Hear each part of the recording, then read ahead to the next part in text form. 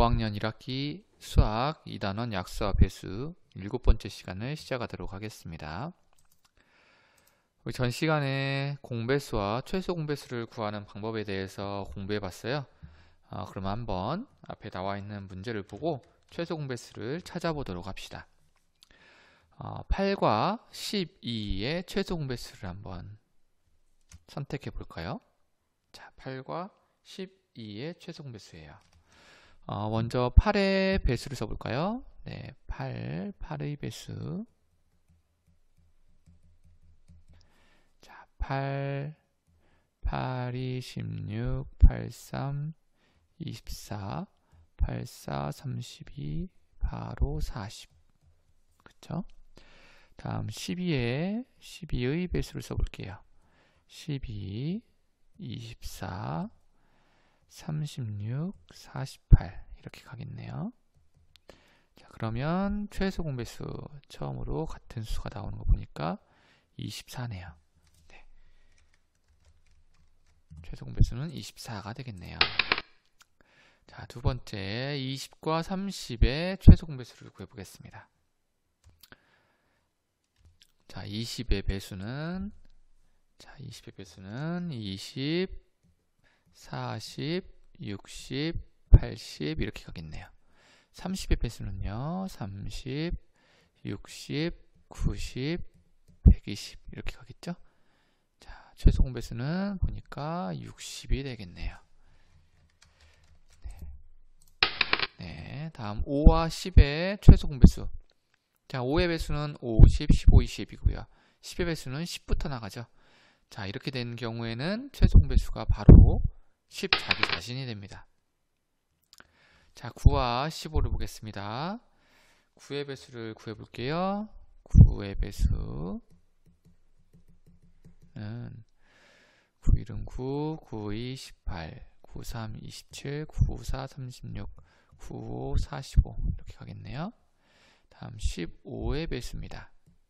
15, 30, 45, 60 이렇게 가겠네요. 보니까 45가 공통대로 동, 공통적으로 들어가 있죠. 최소 공배수는 45가 되겠네요. 자, 이번 시간에는 최소 공배수를 구하는 방법을 알아볼 건데요. 어, 우리 앞에서 배웠던 것보다 좀더 쉬운 방법으로 최소 공배수 구하는 방법을 어, 공부해 보도록 하겠습니다. 자, 처음에는 처음에 나오는 문제에 보면 12와 20에 대한 최소 공배수를 구하는 방법을 알아볼 건데요. 먼저 12와 20을 각각 두 수의 곱으로 나타낸 곱셈식을 이용해서 최소 공배수 구하는 방법을 배워보겠습니다. 그러려면 12와 20을 두 수의 곱으로 먼저 나타내 봐야 되겠죠. 12는 1 곱하기 12. 자, 그리고 12는 2 곱하기 네, 6이죠. 12는 3 곱하기 4 이렇게 두 수의 곱으로 나타내 볼 수 있겠죠. 이거 외에 다른 두 수의 두 곱으로 나타낼 수 있는 방법은 없죠. 자, 20입니다. 20은 1과 자기 자신의 곱으로 나타낼 수 있고요. 20은 2 곱하기 10으로 나타낼 수도 있겠죠. 또 20은 4 곱하기 5입니다. 자, 이렇게 두 수의 곱으로 나타낸 곱셈식을 이용해서 최소 공배수를 어떻게 구할까요? 첫 번째 방법을 한번 보겠습니다. 자, 3 곱하기 4 곱하기 4 곱하기 5는 12와 20의 공배수인지 알아보세요 라고 했어요. 자, 3 곱하기 4 곱하기 4 곱하기 5 볼까요? 3 곱하기 4 자, 보면 3 곱하기 4가 어디 있나요? 여기에서 네, 여기에 있죠. 자, 이 3 곱하기 4, 그 다음에 4 곱하기 5는 여기 있죠. 자, 그 얘기는 3 곱하기 4 한 것과 또 4 곱하기 5를 한 것. 자, 이렇게 되면 이거는 12죠, 12. 그리고 이거는 네, 20이죠. 자, 그 얘기는 뭐예요? 이 전체를 다 곱한 수는 자, 12의 배수, 12의 배수라고 할 수 있겠죠. 왜냐하면 12에다가 20을 곱한 거니까요. 12의 배수죠. 반대로 이 전체를 다 곱한 수는 자, 20의 배수라고 할 수 있겠죠. 왜냐하면 20에 11을 곱한 수니까요. 그래서 3 곱하기 4 곱하기 4 곱하기 5는 12와 20의 공배수라고 얘기할 수 있는 거죠. 네. 자, 이 설명이에요. 자, 3 곱하기 4 곱하기 4 곱하기 5는 자, 12의 배수이기도 하고 20의 배수이기도 합니다. 그래서 12와 20의 공배수라고 할 수가 있어요. 그렇다면 이 곱셈식에서 12와 20의 최소 공배수를 만들려면 어떻게 하면 좋을까요? 자, 이렇게 곱하기를 해도 분명히 공배수는 되는데 숫자가 작지가 않을 거예요. 우리가 구하고 싶은 건 공배수 중에서 가장 작은 수를 구하고 싶어요. 그럼 여기서 어, 최소 공배수를 만들려면 어떻게 하면 좋을까요? 그래요. 여기 공통적으로 들어있는 4라는 숫자 이거를 한 번만 곱하면 되겠죠. 여긴 지금 두 번 곱하게 돼 있잖아요. 한 번만 곱하는 거예요. 그럼 식으로 나타내면 어떻게 될까요? 자 여기 써 있는 것처럼 네, 3 곱하기 4 곱하기 5로 나타낼 수 있겠죠. 4를 하나 뺀다고 했을 때 그러면 자 3, 4, 12예요. 그쵸? 12에 5를 곱한 수니까 12의 배수라고 볼 수 있겠죠? 그리고 또 4 곱하기 5는 4 곱하기 5를 하면 20이죠. 그렇기 때문에 이 숫자는 20의 배수 되는 거예요. 그래서 12와 20의 공배수예요. 근데 공배수인데 그 중에서도 가장 작은 최소 공배수를 구해야 할 수 있게 되는 거죠. 60이라는 최소 공배수. 네. 이해가 되나요? 네, 조금 헷갈릴 수 있어요. 자, 네, 이렇게 두 수를 곱한 거에서 공통되게 곱한 수를 빼고 나머지만 곱했을 때 그 나온 값이 이 두 수의 최소 공배수가 된다는 거예요. 자, 이 첫 번째 방법을 한 번 더 정리를 해보겠습니다. 자, 12와 20을 두 수의 곱으로 나타냈고요. 자, 이 두 수의 곱으로 나타낸 거에서 공통된 수를 곱한 거는 빼고요. 한 번만 쓰는 거예요. 한 번만 공통으로 곱해지는 걸 한 번만 쓰고 나머지 숫자들을 써서 세수를 곱했을 때 나온 수 이게 12와 20의 최소 공배수입니다. 자, 두 번째 방법입니다. 최대 공약수 구할 때 썼던 방법에서 어, 최소 공배수도 같이 구할 수가 있어요. 여기 보면 이 모양 보이죠? 나눗셈을 거꾸로 뒤집어 놓은 이 모양. 자, 이 모양으로 어, 연산을 해볼 수 있습니다. 한번 볼게요. 자, 12와 20 같이 공통으로 나누어지는 수는 4죠, 4. 네. 네. 아이고. 그래서 여기 4를 썼고요. 4, 3, 12입니다.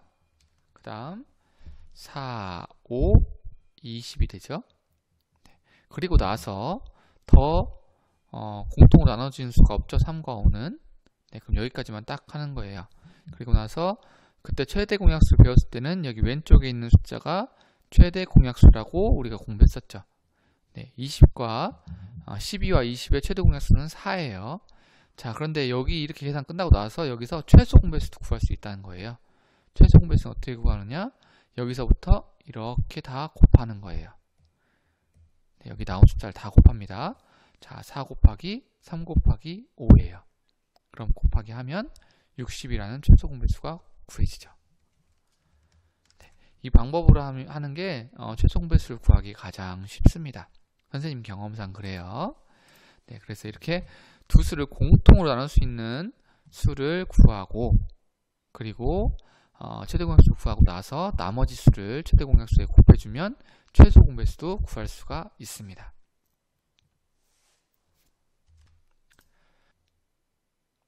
자, 이번엔 30과 50을 각각 여러 수의 곱으로 나타낸 곱셈식을 이용해서 최소 공배수를 구하는 방법을 알아볼게요. 우선 30과 50을 두 수의 곱으로 먼저 나타내 보겠습니다. 자, 30은 1 곱하기 자기 자신 그리고 2 곱하기 네, 15로 나타낼 수 있겠죠? 30은 3 곱하기 10, 또 5 곱하기 6 이렇게 두 수의 곱으로 나타내 볼 수 있겠습니다.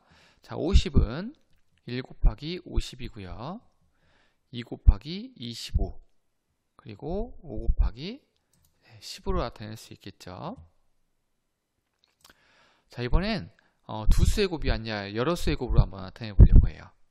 어, 예를 들면 30은 2 곱하기 15라고 했을 때 15를 또 다른 두 수의 곱으로 쓸 수 있겠죠?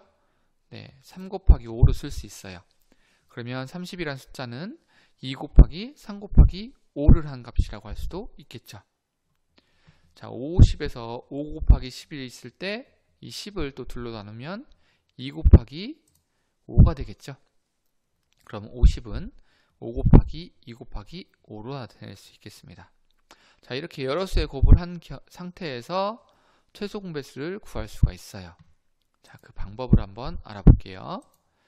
자, 이렇게 30은 3 곱하기 2 곱하기 5, 50은 2 곱하기 5 곱하기 5로 나타냈을 때 역시 공통된 공통된 숫자를 찾는 거예요. 자, 여기 공통된 숫자 보니까 어떤 거예요?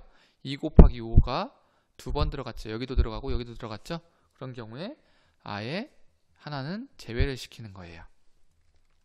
네, 하나는 제외를 시키고 어, 여기 원래 있던 요것만 가져오는 거죠. 그리고 나머지 3과 5는 곱해줍니다. 네, 그렇게 되면 값이 150이라고 하는 결과값이 나오죠. 이게 30과 50의 최소 공배수입니다. 자, 이 방법 첫 번째는 여러 수의 곱으로 나타내는 곱셈식을 이용해서 최소 공배수를 구하는 방법이에요. 여러분들에게 좀 쉽진 않을 수 있어요. 그래서 선생님이 추천하는 방법은 두 번째 방법입니다. 자, 이렇게 나눗셈을 거꾸로 뒤집어 놓은 상태에서 어, 최대 공약수와 최소 공배수를 구하는 거죠. 자, 요거 자리에 안될 수도 있어서 선생님이 여기다 한 번 더 써가면서 해볼게요. 자, 써가면서 해볼게요. 30과 50의 최소 공배수 구하려고 한다. 그럼 이렇게 나눗셈을 뒤집어 모양으로 쓰는 거예요. 자, 30과 50은 둘 다 몇으로 나눠질까요? 짝수니까 둘 다 2로 일단 나눠지겠죠? 자, 30은 2로 나누면 2, 1은 2, 2, 50에서 자, 30을 2로 나누면 15가 나오죠? 자, 50을 2로 나누면 네, 2는 4, 2, 50에서 25가 됩니다. 자, 15와 25는 또 공통으로 나눠지는 수가 있습니다. 몇으로 나눠지나요? 둘 다? 네, 둘 다 5로 나눌 수 있겠죠. 5로. 그러면 5, 3, 15. 5, 5, 25입니다. 자, 3과 5 더 나눌 수, 나눌 수 있는 수가 있나요? 네, 없어요. 그럼 이제 끝이에요. 자, 여기서 이제 왼쪽에 있는 수 2와 5를 곱한 네, 5, 2, 10 이게 뭘까요?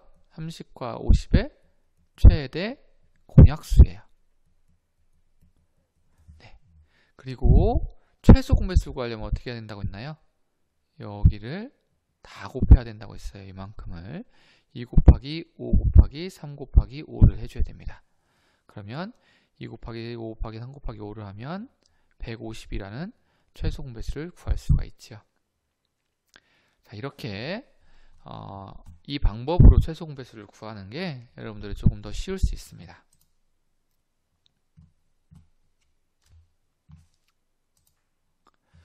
자, 첫 번째 방법에서 3 곱하기 2 곱하기 5 곱하기 5는 152 30과 50의 최소 공배수인 이유를 한번 우리가 알아보자는 거죠. 자, 길게 써 있는데 선생님이 설명을 해보면 이거죠. 여기 곱하기 한 거에서 30이 되는 곱셈을 찾으면 돼요. 어떻게 곱하면 30인가요? 네. 어떻게 곱하면 30인가요? 3 곱하기 2 곱하기 5를 하면 30이죠. 네, 이게 30이에요. 30에다 5를 곱한 게 150이에요. 그래서 150은 30의 배수인 거예요. 왜냐하면 30에다 5배 한 거니까. 그쵸? 다음 50을 찾아볼까요? 50은 어떻게 하면 50인가요? 네, 이렇게 곱하면 50이죠. 2 곱하기 5를 하면 10이고 거기다 5를 곱하면 50입니다. 그래서 50에 3배를 한 게 150이기 때문에 150은 50의 배수가 맞아요. 즉 30과 50의 최소 공배수라는 거죠. 150은 자 방법 2번에서 30과 50의 최소 공배수를 어떻게 구했는지 방법 1을 이용해서 설명해 보자고 했습니다. 아 이거는 너무 여러분들에게 어려운 내용인 것 같아요.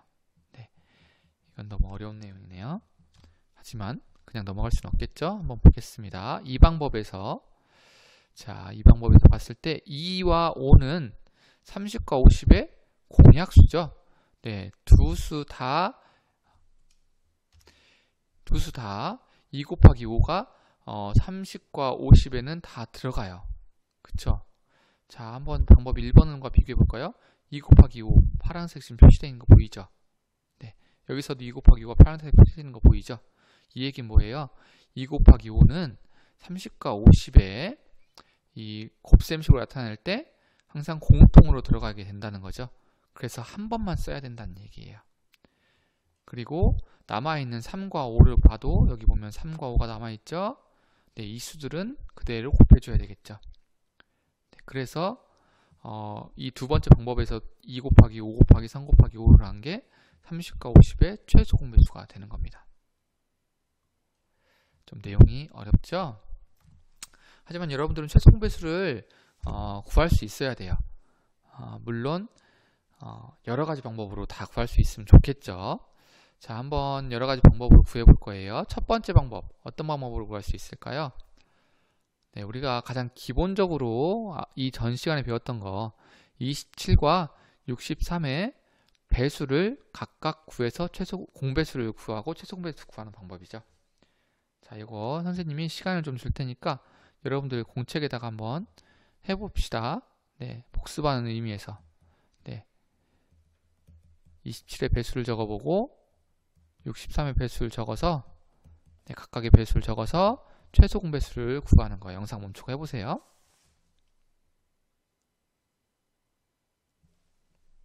자, 다 구했나요? 네, 한번 확인해 봅시다. 27의 배수, 63의 배수고요. 자, 27과 63의 공배수는 보면은 아 이거 어려웠죠. 189까지 가야 되네요. 그래서 27과 63의 최소 공배수는 189가 되겠습니다. 자, 두 번째 방법은 두 번째 방법은 여, 어, 여러 수의 곱으로 곱셈식으로 나타내는 방법을 알아볼게요. 자, 이렇게 하는 방법이에요. 자, 27을 두 수의 곱 또는 세 수의 곱으로 나타내면 이렇게 나타낼 수 있습니다. 63을 두 수의 곱 또는 세 수의 곱으로 나타내면 이렇게 나타낼 수 있어요. 자, 우리는 여기서 주목해야 될 게 자, 요것과 요거예요. 자, 이 식에서 자, 공통으로 들어가 있는 식은 어떤 건가요? 공통으로 들어가 있는 거. 네, 3 곱하기 3. 3 곱하기 3이죠. 그래서 자, 3 곱하기 3은 기본적으로 써주고요. 남아있는 수. 여기 3이 하나 남아있죠? 앞에 3을 써주고요. 그 다음에 여기 또 7이 남아있죠? 뒤에 7을 써주는 거예요. 네, 이렇게 곱하면 이렇게 곱하면 최소 공배수인 189가 나오게 되겠습니다. 자, 세 번째 방법은 어떤 방법인가요? 네, 나눗셈을 뒤집어서 하는 거죠. 네, 27과 63을 이렇게 해서 구하는 방법이었어요. 자, 이거 영상 멈추고 여러분들이 한번 최소 공배수를 이 방법으로 구해봅니다.